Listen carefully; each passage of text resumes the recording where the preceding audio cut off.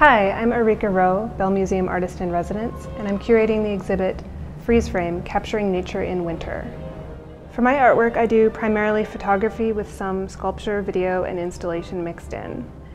In my work, I'm interested in exploring the human relationship to the natural world and particularly to animals. I've always had a deep interest in the natural world, so much so that I actually studied biology in college and worked in that field for a bit. So this interest has naturally become intertwined with my artwork. I view art as another means to explore important issues surrounding our interactions with the natural world, both beneficial and detrimental.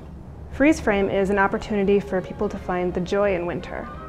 One thing I appreciate about winter is that your world transforms so completely, becoming snow and ice, and suddenly you can interact with everything in a different way by sledding or skating or just walking around with your breath made visible.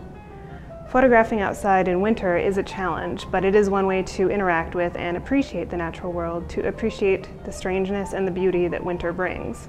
Freeze frame is also a chance for people to share their photographs with others, to create a dialogue with viewers, and to be part of a community that's celebrating winter. I'm looking forward to being inspired by the images that people submit to Freeze Frame and creating an exhibit out of that material.